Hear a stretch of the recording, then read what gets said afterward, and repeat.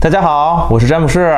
大家好，我是 Jamie。欢迎回到我们的频道。最近呢，恒大的危机可谓是全世界最热门的一个话题之一。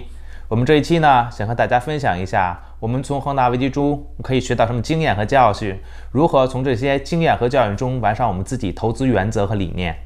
在进入今天的正题之前呢，请朋友们花三秒钟的时间给我们的视频点赞，并推荐我们的频道。我们也会在未来的节目中提高节目的质量，为大家带来更多的干货。好了，让我们进入今天的正题吧。恒大呢是中国最大的房地产建筑商，这次全世界都在关注的恒大危机，就源于恒大在九月份到期的两笔高达。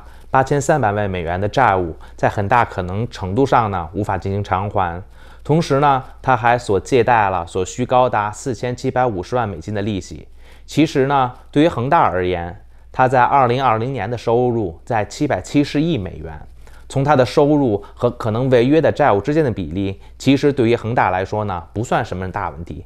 但是为什么恒大会陷入这样的经济危机当中去呢？为什么世界将这次恒大的危机比作2008年的雷曼时刻呢？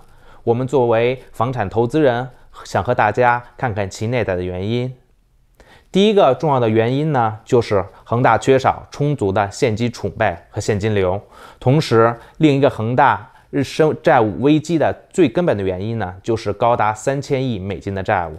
除了以上两个基本原因，我们再来看看恒大为什么会出现现金流短缺和过多的债务。恒大之所以出名，主要原因是因为它的房地产生意。大家一提到恒大，直接就联想到了房地产。但是如果你近距离看一下恒大集团的生意，你就会发现，恒大不仅是地产生意，它是一个投资集团。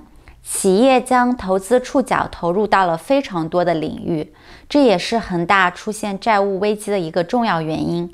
什么意思呢？当恒大投资建筑房地产到了一定程度，房产和地块可能出现了饱和，使得恒大没有办法利用以往的速度进行扩张，那么他就脱离了他最为擅长的房产建筑领域，将大量的借债所得的资金投入到了他所不擅长的领域，比如恒大电动汽车、恒大足球队等等。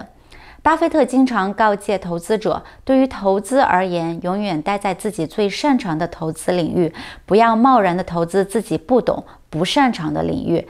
这也就是 invest 和 gamble 的本质区别。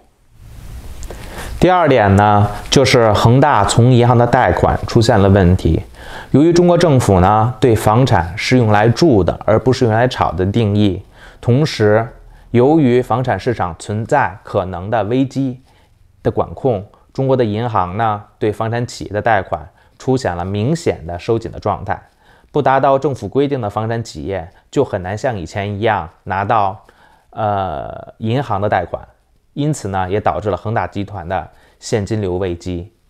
第三点呢就是中国人的观念一般都是想要购买新房而非二手房，而在中国经营新房买卖一般都是购买期房而非现房。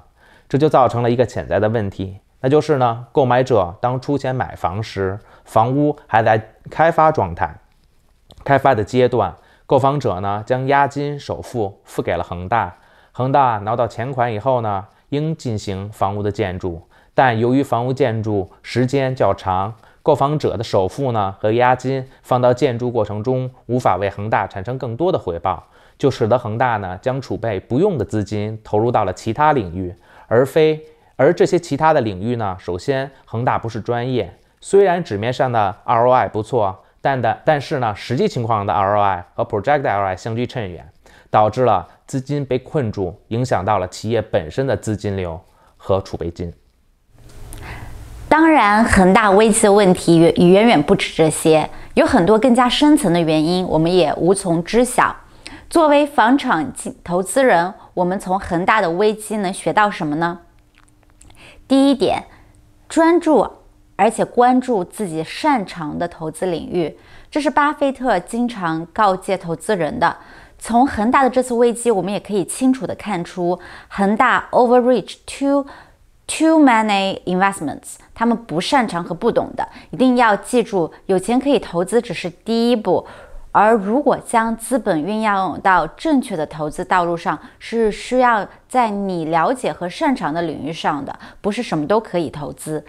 第二点，投资一定要从小慢慢变到大，投资都是学习和实践相结合的过程。学习投资方面的知识是第一步，然后将学习的内容通过实践反映出来。从实践的过程中总结经验教训，然后加固对知识的理解和运用，然后将知识运用到实践上，慢慢的将自己的投资做大做强。第三点呢，就是不要 over leverage，运用杠杆是积累财富的非常重要的工具，但是呢，一定要有个度的限制。看看现在的恒大和零八年的金融危机，大部分出现债务问题的投资者呢和投资公司。都是 over le over leverage 导致的。over leverage 在市场好的情况下呢，可以迅速帮你积累资本和财富，但是到了逆风的时刻呢，就会让你赔得更惨。在这个地方呢，我需要多说几句。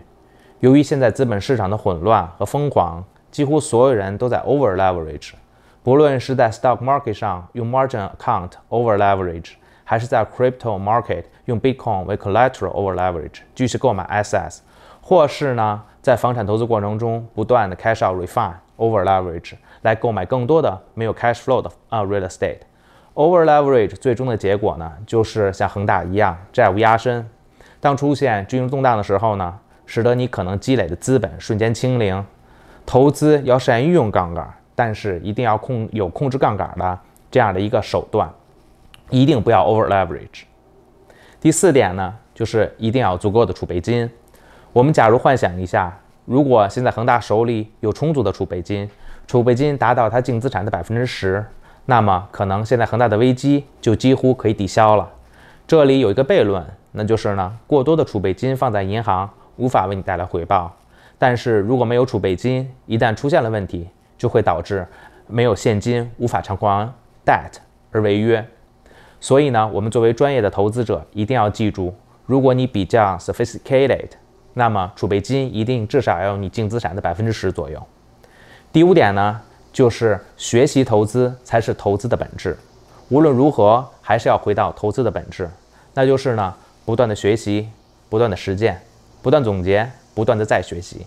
学习的方式呢有很多，比如说听 podcast、看理财的书籍、参加理财会议、结交更多理念相同的朋友，共同学习，共同进步。好了，这期我们就说到这里。